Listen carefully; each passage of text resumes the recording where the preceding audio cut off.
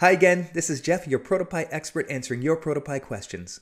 A little while back, I made a video that showed you how to make a custom transition that took it beyond just the default slide in, slide out, fade, or etc. that options were available when you use the jump trigger.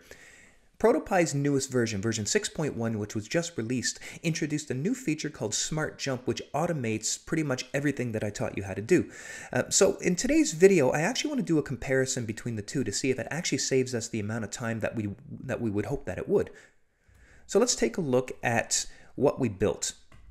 Our experience here was simulating Gmail's inbox on your phone. And when you tap on the search field, you get this animated transition that takes you from one scene to another. And then when you tap the back button, that animation is reversed to take you back to the inbox. And if you recall, there was a lot going on to make that happen. We had a whole bunch of responses to create the animation to animate from our beginning to our end state, and then we did an instant jump over to the second scene. And then when we jumped back, we had to use a hack to detect when we were jumping back, and then added a whole bunch of responses now to reverse our animation. With Smart Jump, you have to do so much less, and it works much like Smart Animate in Figma or Magic Move in, in Apple's Keynote. And if you've used either of those, you're really going to understand how Smart Jump works in an instant. What I want to do is I want to take a look at Smart Jump and try to duplicate exactly what we've done here and see if it actually will give us exactly what we want with less work. So let's jump in. If we preview our starting point here, if you tap just on search in mail, it just does an instant jump over to the, the search screen. We'd like it to animate in the same way we made it work this way. Okay, so we just have an instant jump. ProtoPie has given us a new feature called Smart. So in addition to all of the other transitions, fade, pop, slide in, slide out, flip, or instant, we have this one called Smart. And if I choose Smart, this will now animate items between the two scenes. And it essentially it does this by looking for items with the same name. Look, It's looking for layers with the same names between the two scenes, and then it looks at the difference between the properties and automatically animates between the two of them. Right now, I don't think it's going to do too much. I think we're just going to get a little bit of a fade out, which still looks a little bit smoother, but you can see when I jump from one to the other, we're just getting a like just an, an instant cut here. It's not really doing a whole lot here. Let's start working out how we can make this work and animate the way we would like.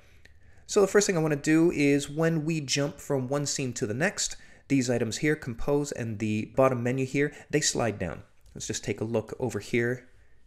And if we tap on here, you can see they, they slid down. It happened a little bit fast, but you can see that happening. So let's take these two. I'm going to copy these two, and I'm going to go over to the search scene, and I want to copy them here, because without them here, ProtoPie has no idea what the end state is. And let's just move them down a bit. I think we move it to about there. Now, if we go back to our scene one here and we do a preview, you see, okay, so it is moving those things down. So there you go. With very little work, we already have part of our transition done. Let's continue on and add in some of our other elements here. Another thing that happens, there's a very subtle, but it does happen, a brief little fade down. You can see it as, watch below as the search, uh, as the search field expands down, you can see things get a little bit darker. There's like a, there's a veil I don't know if you, you notice it, but the, essentially there's a veil that starts to darken the UI behind, uh, behind the search field. So that, if we go over to our inbox here, we have, so we don't have this veil, but let's just copy it from our finished version of the other one here. We'll just copy this guy here, veil. We'll go over to here, we'll put it, I think we want it over top of the footer here, I think. So now we have our veil, it's set to opacity zero, and we'll go over to our search field and we're gonna put it here. And I want to maintain the same order. I don't want things switching order because that adds to a little bit visual glitches. So make sure you keep things uh, ordered in the same way. So I want to make sure the veil is over top of the footer and the category title here. So let's go over here, change the veil. We'll change it to, I believe it was an opacity of 40. So if we go back to our inbox here and we tap the search field, okay, we can see it is darkening down our UI. Let's make it now so the search field expands. So we need to, once again, I believe that was the header base. Yeah, let's copy that. So let's copy that. We'll go to search, paste it here. It needs to expand to the full screen.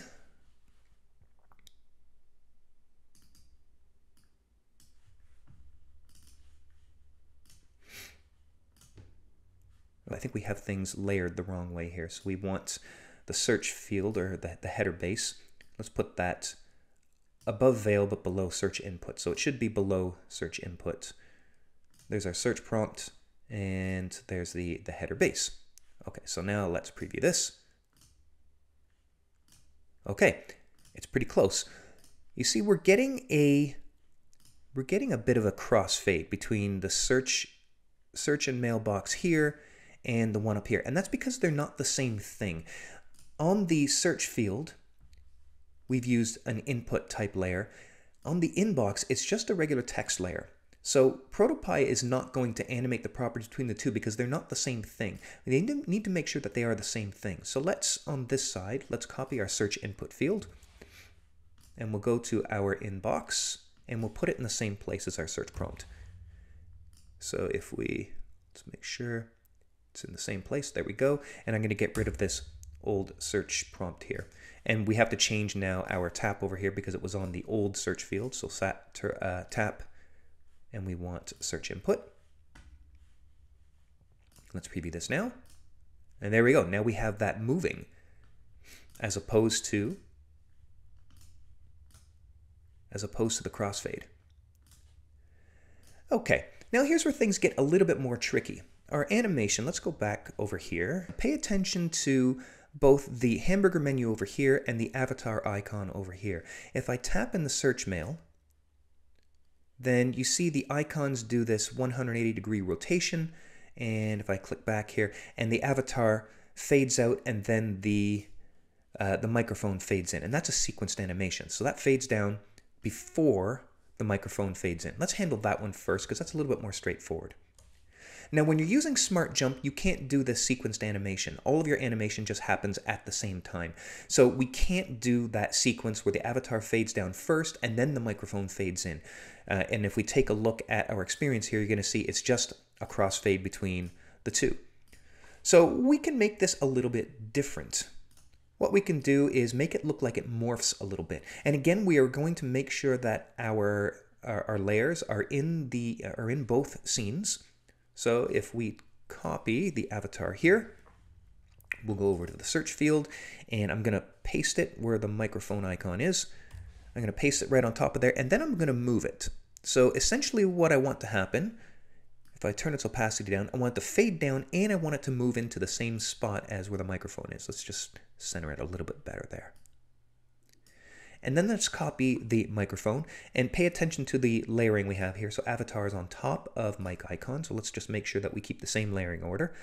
I'm going to copy the microphone icon, go over to inbox, and I'm going to paste it here. And I want to drag it below the avatar. And once again, let's move it so that way it's more or less centered with the avatar and we'll turn its opacity down. So what's going to happen is when this animates from inbox to search, the avatar will fade down and move into the spot where the microphone icon was. And when I animate back, we'll see this when, uh, when we turn on Smart Jump from the other way. It, the microphone is going to animate down towards where the avatar is and fade down. So it's going to look more like a morph as opposed to a sequenced fade down, fade, fade up. Let's preview that. Okay, a little bit nicer. Let's turn on, by the way, let's turn on the smart jump on the second scene so we can see, by the way, uh, there's not a whole lot we need to do uh, in order to reverse our animation. So let's just change this to smart. If I start on inbox and I preview this, I tap on search and mail, and if I tap the back button, you're going to see everything just animates backwards. Very little work, and I've got almost the exact same experience that I had before. Now let's handle the animation of the chevron, the hamburger to the chevron. Let's go take a look at our animation over here again. So when we click on search and mail, they both rotate clockwise. Both are 180 degree rotation. The hamburger fades out, the chevron fades in. Let's see if we can duplicate that. Like we did before, we have to have both elements in both scenes. So first of all, we need to make sure we set the origin point of this item to its bottom left corner, because that's how it rotates. It rotates on that bottom left corner, and it's going to rotate 180 degrees. So I'm going to copy hamburger, I'm going to go over search, and I'm going to paste it in place where it was, and we want to make sure its origin point is bottom left, and I'm going to rotate it 180 degrees. We'll set its opacity down to zero. And now that should animate. Okay, so we did. We saw the hamburger rotate down 180 degrees clockwise and fade down. So that's already doing part of what we need. We need to do the same thing with the chevron here. So let's copy that. And again, we want to make sure that it's the anchor point is in the right place. So the origin, we want bottom right for this because that is the anchor point that it rotates on. We'll copy that. We'll go back to inbox. I'm going to paste it. We want it to be rotated 180 degrees and we want its opacity to be zero. So we should see it rotate up and the hamburger icon rotate down. Let's see if that worked. Okay, so not exactly what we were expecting. The hamburger icon rotates the proper way. It rotates clockwise. But the chevron, it's rotating counterclockwise. And unfortunately, when you're working with Smart Jump, you don't have control over which way this is going to rotate. Um, so this is the first thing that we need to accept with the way this works is you have less control over the animation when you're doing smart jump. In a similar way that we couldn't do uh, we couldn't do the sequenced animation we couldn't do the fade down of the avatar first and then the fade up of the microphone we can't control which direction that these items rotate when they animate.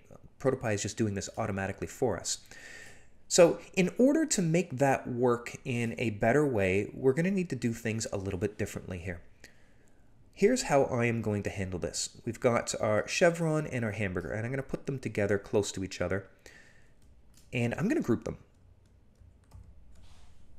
And let's set the origin point to be the left center point. So that's where it's going to rotate on.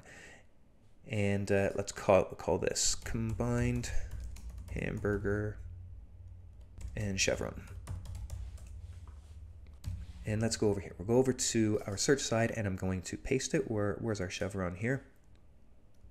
Paste it there. I'm going to remove the old hamburger and we are going to get rid of the other chevron in a second. Um, but what I want to do is let's now switch the opacity of the, of the hamburger and the chevron. So the opacity of the hamburger, I'm going to put down to zero. Chevron, I'm going to put up to 100. I'm going to rotate it not the chevron. I'm going to rotate the whole container 180 degrees. Oops, 180. And I'm going to move it into the same spot. So that way it's going to end exactly where the, the chevron is in this part of the composition. And then we don't now need the old chevron. And let's see how that looks. So we go back to our inbox. I tap search and mail. And now we're getting that rotation back. And if I turn back, if I click back, okay, so I'm trying to click back and nothing is happening. And that's because we've now broken our back tap. So we need to choose the, where is it? We want the chevron. Let me just search for it here. Chevron back, here we go. We want that. And let's just make sure that we've got, yeah, we still have the touch area around there.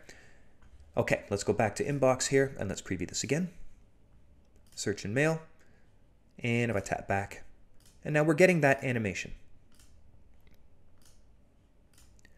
Now, there's a couple of big benefits to doing it this way. If I want to change the speed of this animation, I only need to do it in one place, and that's in my jump here. Right now, this is set to happen over 0.2 seconds, and let's say I want to slow this down. Let's say, oops, let's say I want to slow this down. Let's say I want to have this happen over one second. Well, I can do that. I'll go back to my preview, tap there, and there we go. Now it goes slower. That's a bit too slow. Let's change it to 0.5. And we'll preview it again. There we go. Now I have this happening over 0.5 seconds. I'll have to do the same thing in the jump on the search side if I want that to happen at the same speed. Go back to my preview. And there we go. So everything still now happens as it did before, with the small caveats that this animation with the avatar is a little bit different. But it's kind of cool. That morph, morph effect is not, uh, it's not a bad experience. I think it kind of works quite well. But I have this, I have this amazing benefit here where I can change its speed in just just by changing it in one place. If I wanted to change my animation speed in the way I did it previously, I would have to change all of these items here and I'd have to change the timing of my jump. So let's say if I wanted to do this, I can speed this up a little bit. So let's say I want to do those. And these ones, I want to have this happen over 0.5 seconds instead of 0.2. Yep, can do. My jump now needs to go up to 0.5 seconds, and I need to adjust these individually. So this would be 0.25, and I need to adjust this and my duration back to 0.25. So it can be done and it's not that bad, but you can imagine if you had a lot of animation going on, this could be pretty tedious. And then multiply that, that out by however many scenes you want to adjust. And don't forget, I would have to do the same thing for my return animation as well. So huge benefit to using jump where you can just change the duration by 0.2 seconds. One more real benefit we can do here is we can also delay that animation with just one step here. So if we preview this from this side, it starts animating the second I click on the back icon here. Would be nice if I could wait for the keyboard to hide first before it moved back. So it would be a two-step animation. I tap it, keyboard would slide down, then I would transition back. Well, eh, that's really easy to do when you're using Smart Jump because all I need to do is just delay this a little bit. So let's try 0.2 seconds. Let's see what that looks like. Preview here. I'm in Search in in Mail. And if I tap the back chevron, there we go. Now I have that two-stage animation.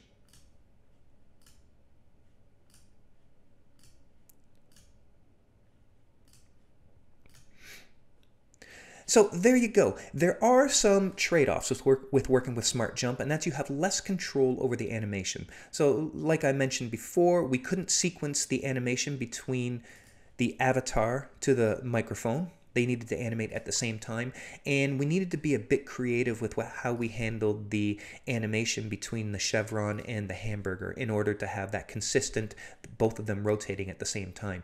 But otherwise, small price to pay for a long-term gain here. Now it's really easy to change my uh, my animation. I didn't have to use that hack with returning to the scene. ProtoPie just figured it out for us. So when I preview this, there we go. I have almost an uh, identical experience to what I had before. And this is much easier to manage and change if I want to. And if I want to change the aspects of the animation, it really is just a matter of moving items around in either scene. So I can change the start position by, let's say I wanted this, let's say I wanted the compose and the footer to animate completely off screen. Right now I have the compose button down here. So let's take the footer and the compose button and I can have them animate further down screen and now that's changed my transition. So if I go back here and I tap on search and mail, those two items animate completely off screen and come back to their regular spot when I come back. There you go. Easy as pie. Custom transitions using ProtoPie's new fantastic Smart Jump feature. If you've run into a snag with one of your pies and you'd like to ask us for help, check out the link in the description below. As always, thanks for watching, and we'll see you in the next video.